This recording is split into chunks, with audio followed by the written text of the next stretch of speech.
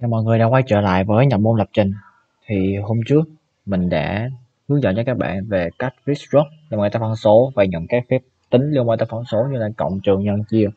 Hôm nay mình sẽ tiếp tục viết về một cái struct khác, đó là về struct liên quan tới cuốn sách. Nó sẽ có tên, có tác giả, có số trang và năm xuất bản.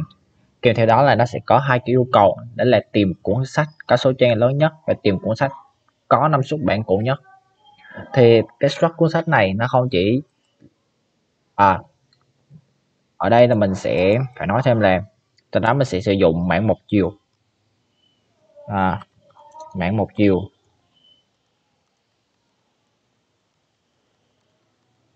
Để liệt kê danh sách. Các cuốn sách ha. Ok. À, bây giờ mình sẽ bắt đầu về việc công việc đầu tiên đây, khai báo cái struct khai báo cái struct cuốn sách.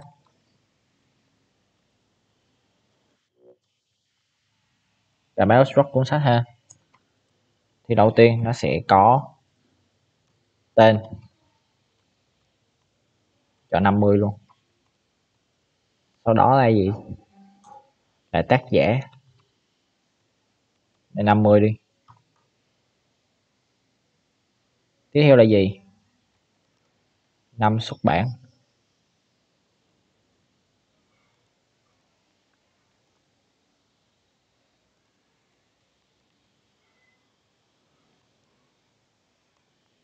Ok, năm xuất bản. Sau đó mình sẽ có là in số trang. Đấy chính là một cái struct, cuốn sách hoàn chỉnh của mình. Tiếp theo, sau khi mình đã có cái struct cuốn sách tức là mình để viết xong cái struct mình sẽ viết hàm nhập nhập một cuốn sách ha. Gọi nhập. Cuốn sách về e à, bởi vì sao mình phải dùng tham chiếu? Hàm nhập thì lúc này cũng phải dùng tham chiếu ha để nó thay đổi cái giá trị của cái thêm của cái phần tử mà mình đưa vào đó. Thì đầu tiên là mình sẽ sell nhập tên sách ừ. in in uh, e chấm. Tên.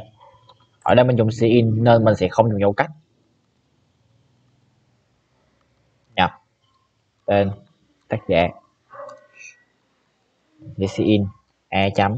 Tác giả tiếp theo là còn lại là năm xuất bản với số trang.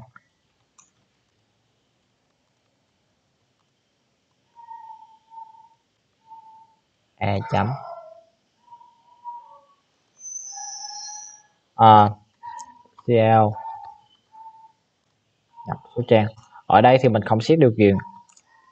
Mọi thì bạn nào muốn xét điều kiện thì hoàn toàn có thể truyền thêm mấy cái điều kiện ha in. A chấm, số trang. Ok, vậy là mình đã xong hàm nhập một cuốn sách ha. Tiếp theo, mình sẽ viết hàm xuất. Void xuất.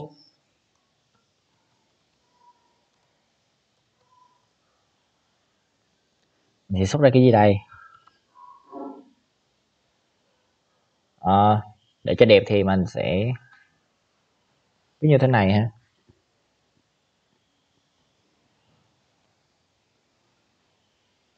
Ok sau đây mình sẽ viết là hai chấm hai chấm tên. Sệt uh, ờ, t. Sau đó là e chấm tác giả.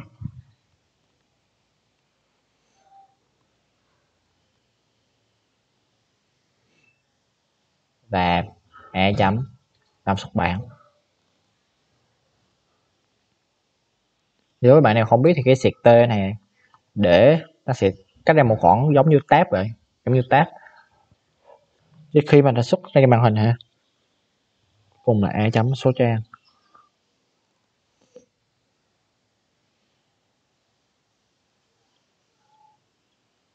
Rồi.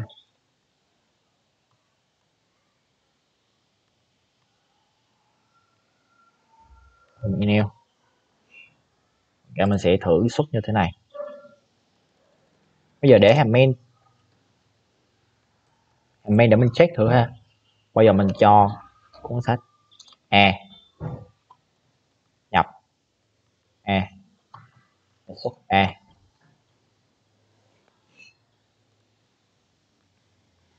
Chạy đi bớt. À, nhập tên sách. Giáo kho. Nhà xuất bản, giáo dục. Xuất bản một, chín chín chín. Số trang là trăm trang ok, nó sẽ xuất ra như thế này. Sách giáo kho, nhà xuất bản, giáo dục. Chín chín một trăm. Tạm thời như thế này đi ha. Chút nữa mình sẽ sửa lại cho nó đẹp sau. Ừ.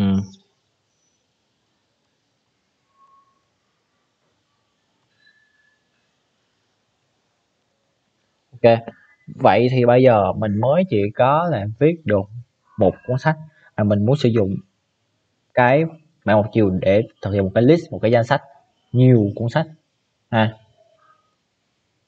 Để thì mình phải khai báo một cái mảng một chiều. In n. Lúc này cũng phải có in thì n mặc định, trong đầu mình đó là số phân tử rồi. Ok, mình in n mình sẽ với một cái gì này cuốn sách, đúng không? Thì cuốn sách. N. N. Email nhập số lượng. Cuốn sách. Mình sẽ in n. Tạm thời khai báo một chiều có một trăm tử đi.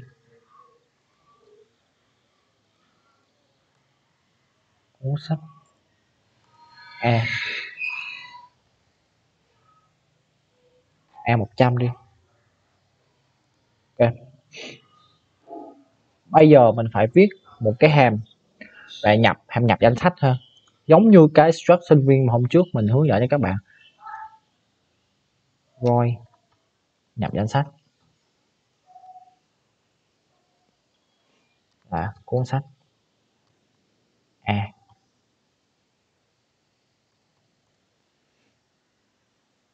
ở tất nhiên phải có số phân tử nữa. In for in y bằng không. Y sẽ biến n và y tăng.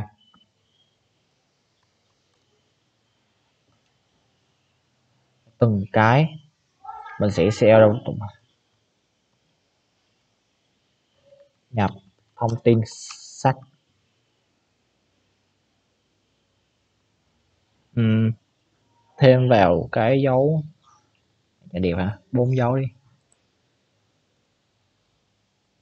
Nêu sau đó nó sẽ nhập. AI lại chỉ là mảng một chiều ha tiếp theo tương tự với hàm suất rồi. Danh sách. Cũng là cuốn sách E và có n phần tử chạy tiếp tục vòng lặp đó là vòng lặp for in y bằng không. Y sẽ biến n, y tăng. Thì mình sẽ, ở đây mình sẽ xuất ra một cái câu thôi thôi. Tại thôi, mình cốp cái hàng này lại ha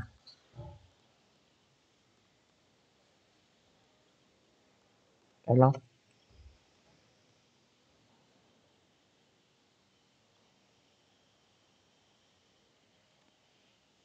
tên sách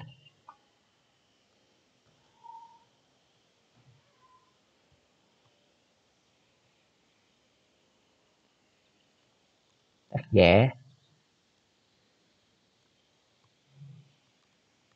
Năm xuất bản.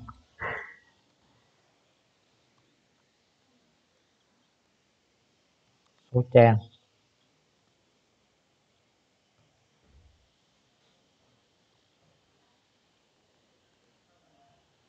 ok thì đó là câu mở đầu. Tiếp theo là mình vẫn là xuất như cũ ha. AI ra.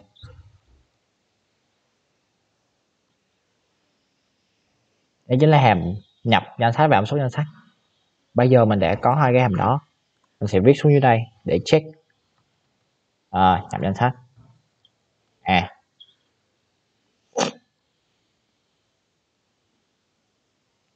n chứ. Là số danh sách. E n. Trên không. Bây giờ mình sẽ debug. À, bây giờ nhập số lượng cuốn sách ha. Giờ mình sẽ nhập thử ba cuốn đi. Thông tin sách. À, đầu tiên là E đi nó vẽ ra abc gì đó. Nó xuất bản cái năm ngoài ba ba mười hai trang. Tên sách là b. Cái vẽ là em. Edz xuất bản những này. Trang. Tiếp theo là cuốn sách thứ ba. C.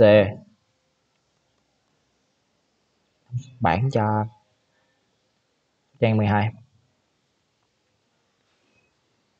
tên sách tác giả nhà xuất bản số trang thì nó sẽ bị lệch qua một dòng cái việc xuất ra này nó hơi ờ, với mình nó hơi bị, nó chưa có đúng lắm này. Tác giả thì nó phải ở cái cột này, năm xuất bản nó phải chồng lên cột này. Còn số trang nó phải ở bên này ha. Thì xíu nữa mới sửa lại. Nhưng về cơ bản thì nó để nhập và xuất được.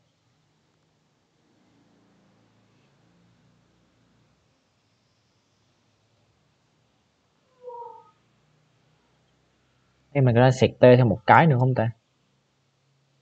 Ok cứ sẹt T thêm một lần nữa đi.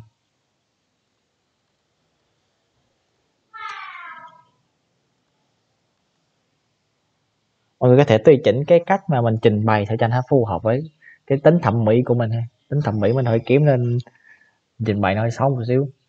Ok, sau khi mình đã có một cái list về những cuốn sách thì tiếp theo bây giờ mình sẽ tìm cuốn sách có số trang lớn nhất tìm cuốn sách có số trang lớn nhất ha.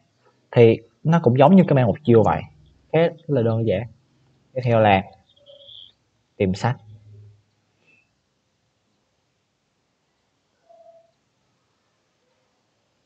Ghi là trang lớn nhất đi. Trang nhiều nhất.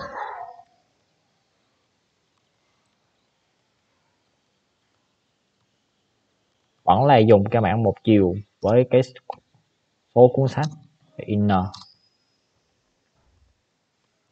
Mình sẽ share ra. Cuốn sách. Có nhiều. Trang nhất là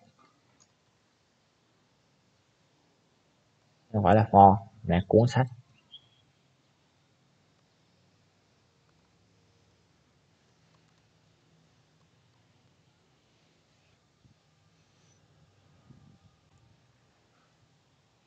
Tiếp theo mình sẽ sử dụng là for ha. In y bằng không. Giống như cái việc là giống như tìm cái số lớn nhất trong mã một chiều ạ. Mình sẽ dùng một cái biến tạm. À, tất nhiên là mình phải dùng cái biến tạm. Y bằng không y biến n và y tăng. Thì trong một cái cuốn sách. Không in đi in được mày đúng không? In thêm bằng. À, a không. Chấm gì đây? A không chấm số trang.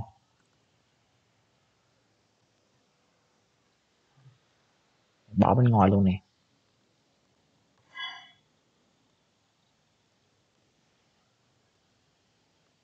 Bây giờ nếu như mà nếu như mà à, AI chấm số trang. Lớn hơn. Lớn gì? Lớn hơn thêm. Thì sao? Thì thêm. Sẽ bằng. AI chấm số trang ha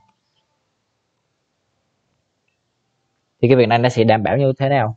Nó sẽ đảm bảo cho mình là sau khi mình xét một cái cuốn sách nào đó, có số trang lớn hơn cái số trang trước đó thì mình sẽ gán cái biến tạm đó cho cái số trang mà có số sách lớn hơn mà mình vừa tìm được. Vừa tìm được. Tụi mình sẽ so sánh lần lượt lần lượt lần lượt như vậy. Cho đến cái trang cuối cùng. Cho đến cái cuốn sách cuối cùng thì mình sẽ tìm được cái cuốn sách nào mà có số trang nhiều nhất ha. Tem sẽ bằng y trong số trang. Ở đây mình sẽ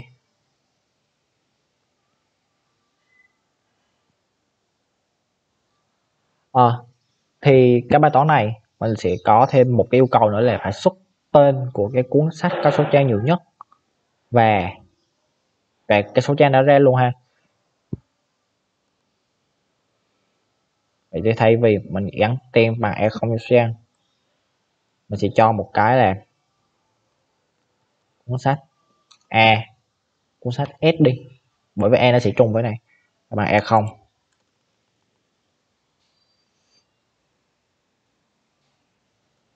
Nếu mà EI chấm số trang lớn hơn S, chấm số trang, thì sao? Nếu mà EI chấm số trang lớn hơn S, chấm số trang, thì S sẽ bằng EI cuối cùng, sau khi mình đã có S, mình sẽ CL cuốn sách có số trang lớn nhất là s chấm tên.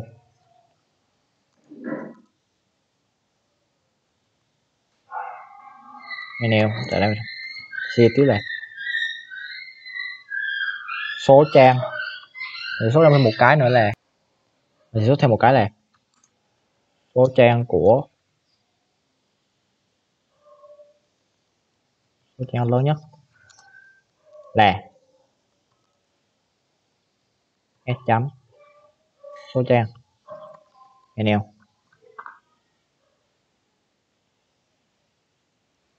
để mình uh, nếu như thế này thì mình dùng ờ, uh, void hàm void đi. Bởi mình không, không có trẻ cần trẻ về cái gì hết. Ok. Mình sẽ check đó là nhiều đây nhiều trang nhất. E mình n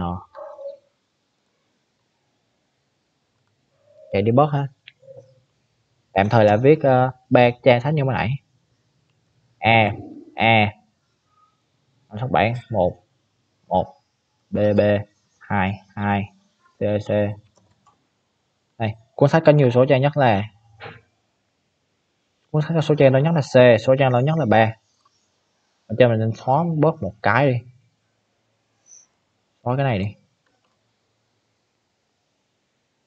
Chạy với một uh, giờ mình sẽ đổi ngược lại ha. Ba cuốn sách. Cuốn sách là a. Giờ là ba ba. Trang là b. Sách b. C c một một. Đây cuốn sách số trang lớn nhất là a và số trang lớn nhất là ba ok tạm thời thì cái hàm tìm cuốn sách số trang lớn nhất. Là đã xong. Giờ tới cái hàm cuối cùng là tìm cuốn sách có năm xuất bản cũ nhất nó cũng hoàn toàn giống với cái ham mà. À, nhiều trẻ nhất thôi.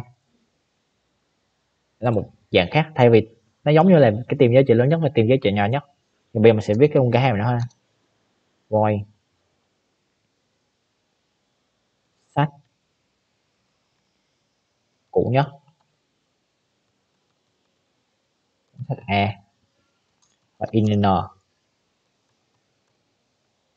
Đúng không? Mình vẫn sẽ khai báo là cuốn sách S là bằng với S0 và E là cái danh sách có cuốn sách rồi thì tức là S là sẽ bằng với cuốn sách đầu tiên giống như ở trên.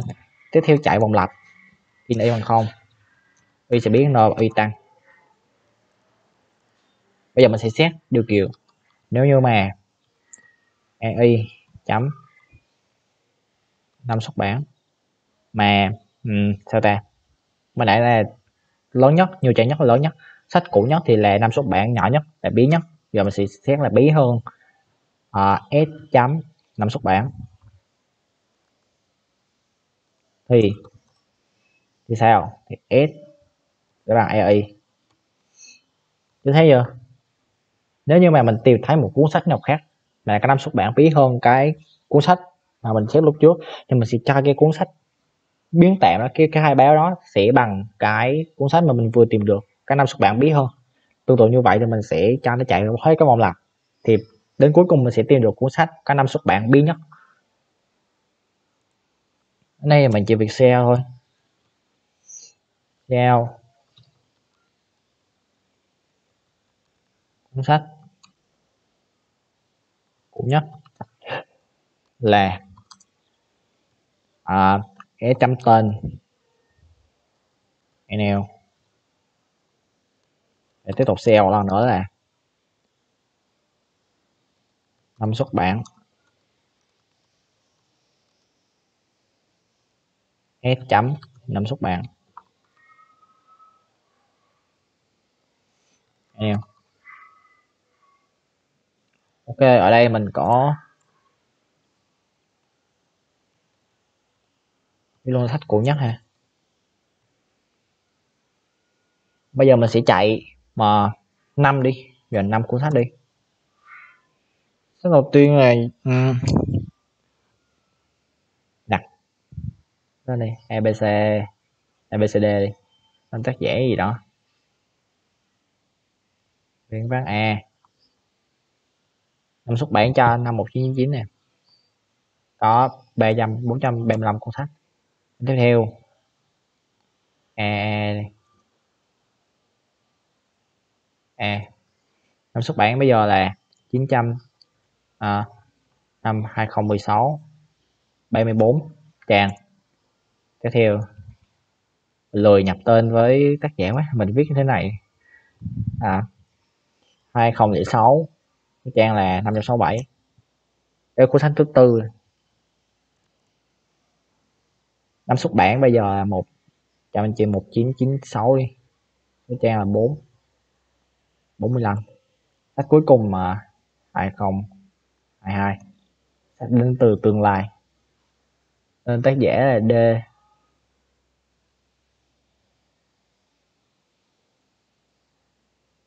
Năm xuất bản phải viết số ha. Mình nhập mình nhập nhiều quá mình bị liếu mình bị, bị lộn số trang. À 76 trang. Đây, tên sách abc tác giả là a số trang. Mấy cái nhập này thì đúng rồi ha. Tuy nhiên là bây giờ tới cái phần là cuốn sách có số trang lớn nhất là b. Số trang lớn nhất là 567 ok, đúng nè. 475 và 567 thì đúng. Tuy nhiên là cái phần là cái năm, cái gọi là cái cuốn sách mà cũ nhất á, nó không có chạy tức là nó vừa bị lỗi ở đâu đó. Coi thử. À, chưa. Bây giờ y biến n không phải là phải quên. Gia nhập lại năm cuốn sách. Giờ. Đó nhập cái này luôn đi a a. Chín chín. B. Hai ngàn. Mười hai cc hai điểm một. Số trang là bốn. Sáu đi. D d d. Nghĩa hai không hai mốt. Trăm hai mươi bốn. Cuối cùng là e e. Sáu bán hai không mười lăm. Trang là ba mươi bốn. Đây ok nó sẽ ra như sau. Tên sách tác giả số trang. Tác giả năm xuất bản cái này nó quên lại quên tác. Cuốn sách có số trang lớn nhất là C. Cuốn sách là đây C đúng không? Có bao nhiêu trang? 456 trang ok. Cuốn sách cũ nhất là A. Năm xuất bản là 1999 ok luôn. Ok, vậy là cái video về short liên quan tới cuốn sách của mình. Đến đây kết thúc ha thì mọi người nếu muốn có thêm nhiều video và tài liệu liên quan tới môn lập trình sử dụng siêu cọc mọi người có thể truy cập vào trang web trên màn hình ha